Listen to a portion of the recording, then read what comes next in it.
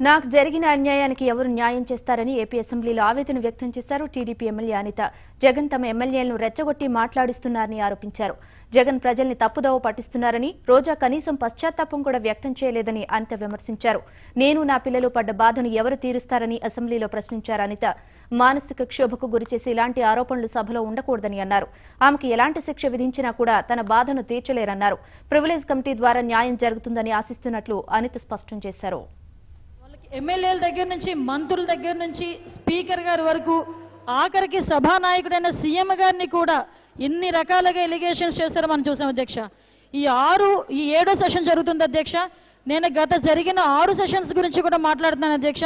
ఈ ఆరు సెషన్స్లోని ఇంచుమించుగా రెండు సార్లు ప్రివిలేజ్డ్ మోషన్ మూవ్ చేయించుకున్నారు అధ్యక్ష. అదే సభ్యురాలు మిగతా సభ్యులందరూ కూడా.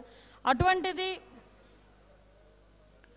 అటువంటిది ఈరోజు ఒకసారి మన సభ్య సమాజం గురించి ఆలోచించుకున్నట్టయితే ఇది దేవాలయం లాంటి అసెంబ్లీ అధ్యక్ష. మన దేవాలయానికి ఎంత ఉన్నతమైన స్థానం ఇస్తామో అటువంటి ఉన్నతమైన స్థానం కలిగిన ఇటువంటి దేవాలయం లాంటి అసెంబ్లీలో నేను లాస్ట్ టైం కూడా ప్రస్తావించినప్పుడు చెప్పాను అధ్యక్ష ఈ ఐదు కోట్ల మందిలో ఎంతో మందికి రాని అదృష్టం ఈ నూట డెబ్బై ఐదు మందికి వచ్చింది. ఈ నూట డెబ్బై ఐదు మంది ఎమ్మెల్యేలుగా మన పనితీరు కానీ ప్రతి ఒక్కటి కూడా జనాలు గమనిస్తూనే ఉంటారు. అటువంటిది గమనించేటట్టు ఉన్నా కూడా గమనిస్తున్నారని తెలిసి కూడా ఇది ఒక అసెంబ్లీ అనుకుంటున్నారా? ఇది ఒక రకమైన సెట్టింగ్ అనుకుంటున్నారా? నాకైతే తెలియకుండా వాళ్ళు మాట్లాడుతున్న తీరు మరి ఇంకొకసారి గుర్తు చేస్తున్న అధ్యక్ష. స్పీకర్ గారుగా మీ మీద చేసిన ఎలిగేషన్కి ప్రిలేజర్ మోషన్ కూడా ఆనాడు నేనే మూవ్ చేశాను. ఆ తొమ్మిది మంది సభ్యులు కూడా మీరు పెట్టిన క్షమాభిక్ష మీద కూర్చొని కనీసం ఆ పశ్చాత్తాపం కానీ ఆ రియలైజేషన్ కానీ రెండూ లేకుండా తిరిగి సీఎం గారి మీద అన్ని రకరకాలుగా మాట్లాడుతుంటే నువ్వు చేస్తున్నది తప్పు నువ్వు చేస్తున్న సభ్య సమాజం తలదించుకోలేనాక నువ్వు మాట్లాడుతున్నారు. మీరు చేస్తుంది ప్రభుత్వ విధానాలను ఎత్తి చూపడమే కాకుండా పర్సనల్ ఎలిగేషన్స్కి వెళ్తున్నారు. నేను ఒకటే అడుగుతున్నాను అధ్యక్ష ప్రతిపక్ష నాయకుడిని మీ ద్వారా అడుగుతున్నాను అధ్యక్ష. నిజంగా ఇదే వ్యవహారం కనుక మా పార్టీలో మా చంద్రబాబు నాయుడు నాయకత్వంలో జరిగుంటే ఉంటే అధ్యక్ష మీ వరకు కూడా సిచ్యువేషన్ రాదు అధ్యక్ష. మమ్మల్ని పార్టీ నుంచి కానీ ఇప్పుడు వరకు కూడా డిస్మిస్ చేసే పరిస్థితి వస్తుంది అధ్యక్ష. అంత క్రమశిక్షణ కలిగిన పార్టీ అధ్యక్ష. నువ్వేం చేస్తున్నావు? నీ పార్టీలో ఉండి ఒక మహిళా శాసనసభ్యురాలు ఇంకొక మహిళా శాసనసభ్యురాలని కానీ ఇంకొక దళిత మంత్రిని కానీ ఇంకొక మంత్రుల్ని కానీ స్పీకర్ని కానీ సీఎంని కానీ మాట్లాడుతున్నప్పుడు ఒక్క మాట ఇది తప్పు అని చెప్పలేని నాయకత్వం నీకు ఎందుకని అడుగుతున్నాను అధ్యక్ష ఈరోజు.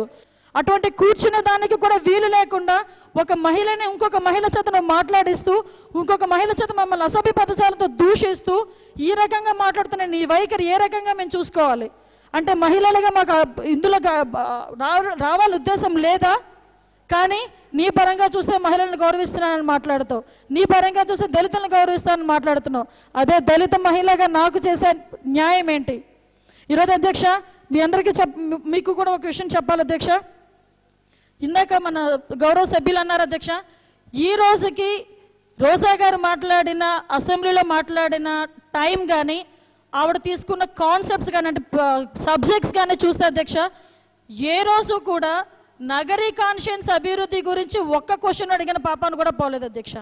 కనీసం రాష్ట్ర సంక్షేమానికి ఉపయోగపడే ఒక క్వశ్చన్ కూడా అడిగి పాపాను పోలేదు అధ్యక్ష.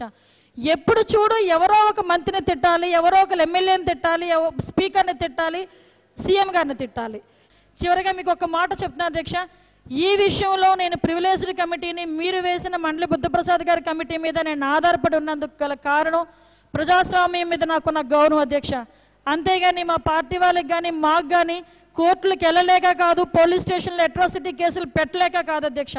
ఒక కో- అసెంబ్లీలో జరిగిన వ్యవహారాలకి అసెంబ్లీలోనే న్యాయం జరుగుతుందనే నమ్మకం ఆ విశ్వాసం అన్నీ ఉన్నాయి కాబట్టే ఈరోజు మీ ఎదురుగా మీ ఎదురుగా నేను పెడుతున్నాను అధ్యక్ష.